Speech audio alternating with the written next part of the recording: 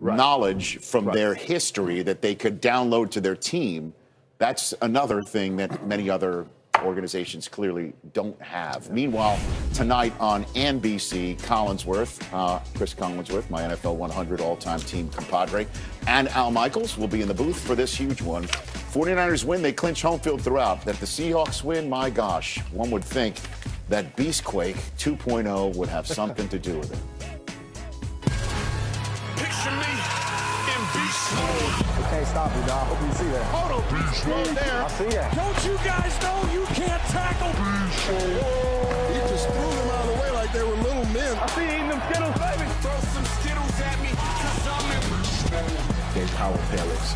The beast is alive and well. Get off me, he said. Beast mode. Oh, my God. Marshawn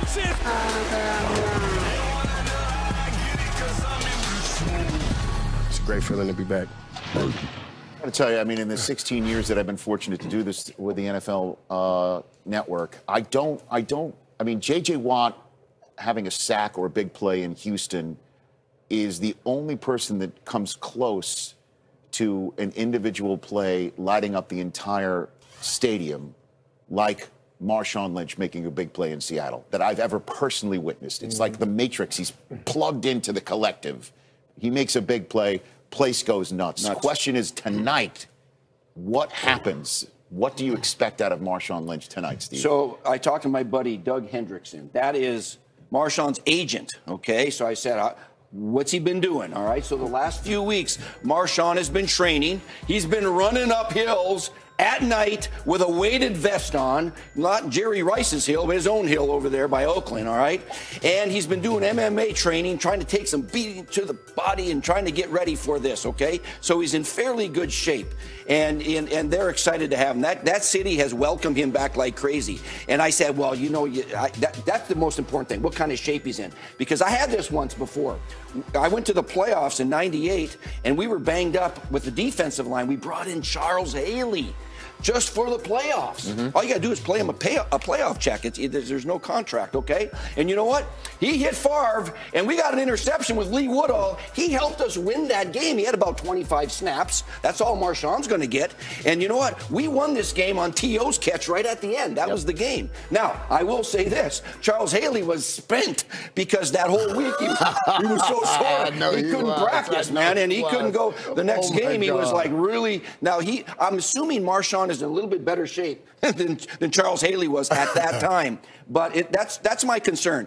After this game, if they win it, can he answer the bell next week and still get 30 yes, snaps. Exactly. But you're not concerned about him playing at night because he's been running hills at night. So he, he should be. He's he been be practicing good. for this night should game. Should be all good tonight. Yeah. I mean, I have no idea. I mean, it, it's one of those things that we've never really gone down this path before. I don't know what to expect from him, but I'm kind of like you, Rich. Is that when I think of Marshawn Lynch and I think of him putting on a uniform, especially that's, in Seattle, that's, that's, I only see one thing. I mean, I see him running over people. I see him firing up the crowd. I see everybody getting pumped up because this is the kind of stuff he does, whether mm. it's Beastquake or just little runs in the goal line like this, where he's bringing that attitude. And, and I believe that's what they need from him more than 100 yards or, or 25 carries.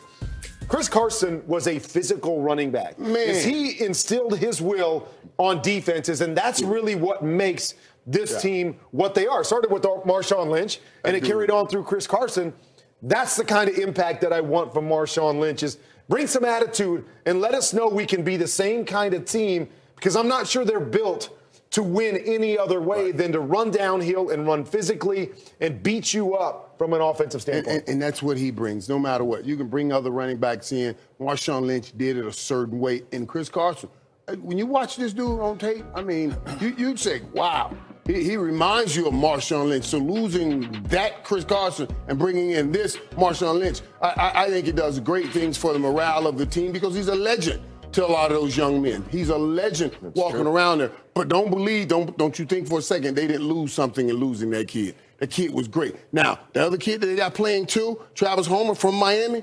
I, Kurt, I was telling you this yesterday in meetings. That's another dude that runs hard and will play hard all day long. But Marshawn Lynch is a whole different beast, man. I can't wait to see what that does. I for them. find it interesting that he's been training for weeks. I don't know for what and for whom, because until Carson Right. got hurt and then Prosise got hurt, they didn't really, one would think, need Marshawn Lynch to come back. Could it have been you know, Penny? Penny got hurt. I don't know. It's possible. weeks ago. He got hurt a couple he had a weeks vision. before. Talk about just just Penny uh, got hurt a couple before before. before we just move on. Just the, things that you just never see coming. That's what the NFL is so great about. If I had told you mid-August.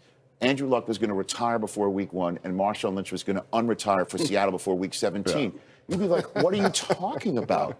And yet, that is what you know the NFL 100 season has been, it's been Mm-hmm. filled with twists and turns. Like say the Cowboys entering Week 17, one game under 500, Yeah. and we'll talk about that game uh, uh, in a second right here. Um, it's been it's been unbelievable. Rashad Penny woke up early because I'm ready to watch Money Lynch run today. Okay. See what I'm Us saying? too, us too. Everybody. We ready? Is. Well, I mean, it's going to be a late night. It's going to be a late night. They- they so again, the Cowboys are one game under 500 going into this Week 17 game. I mean, they were three and zero. It's unbelievable what has happened in the Metroplex. They need the Giants to help them out to get into the playoffs, and they got to win themselves. And they're already banged up too. Dak hasn't thrown a ball virtually all week. Take it away, Jane Slater. Yeah, Rich, and that injured shoulder is still an issue for him. Now, he did say that it is feeling a little bit better. It's still sore, but he didn't throw at practice at all this week. And add to that, it doesn't look like he's going to have his blindside blocker, left tackle Tyron Smith. A team source told me that while he didn't practice at all this week, they were still going to at least try and roll him out here for some of the pregame warm-up drills, the same way they did against the Jets. But if you recall, in that Jets game, going through a very similar exercise, he didn't end up playing. So it's not exactly great news. That means swing tackle Cameron Fleming would be next up. And then we've also got to talk about the cornerback, Byron Jones, in a walking boot after injuring himself in practice. They also don't have the defensive tackle, Antwaun Woods. Now to Kim Jones on the Giants-Eagles game.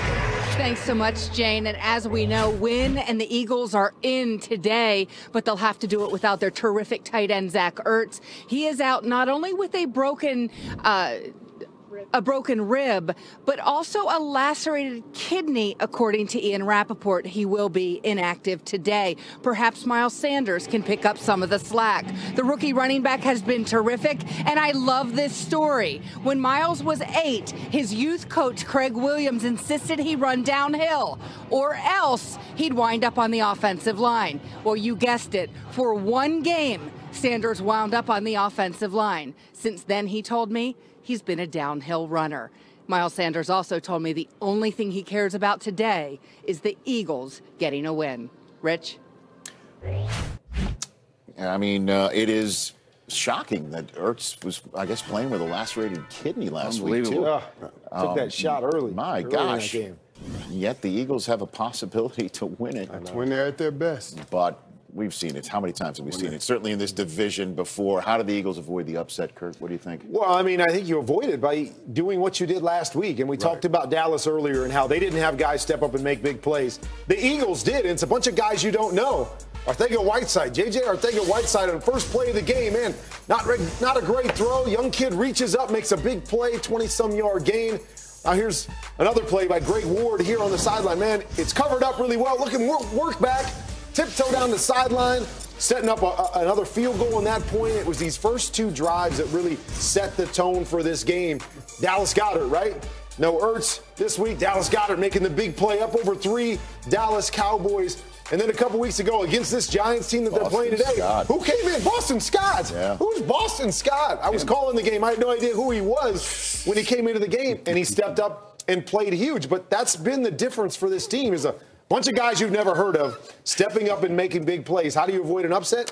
Those same guys are going to have to step up and play big once again to get that fourth win and catapult them into the playoffs. Did Harlan know who he was? Nope. That's good prep. And Kevin's awesome.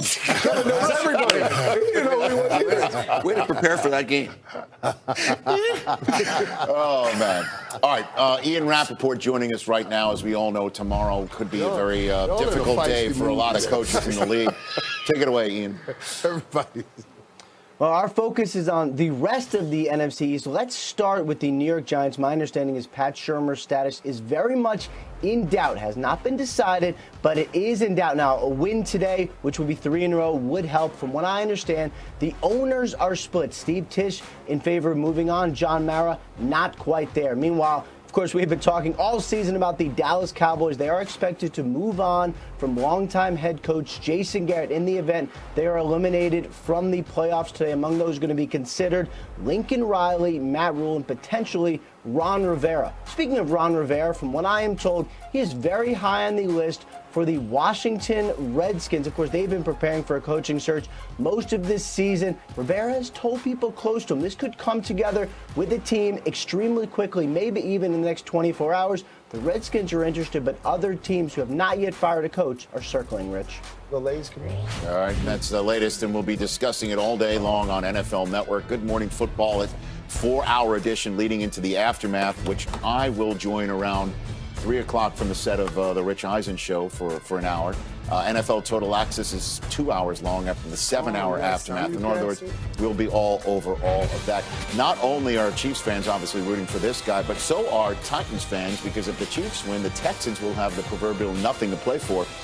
Mary, you might see AJ McCarron starting instead of Deshaun Watson in a must-win game for the Titans. Lots going on here on NFL Game Day morning, Week 17.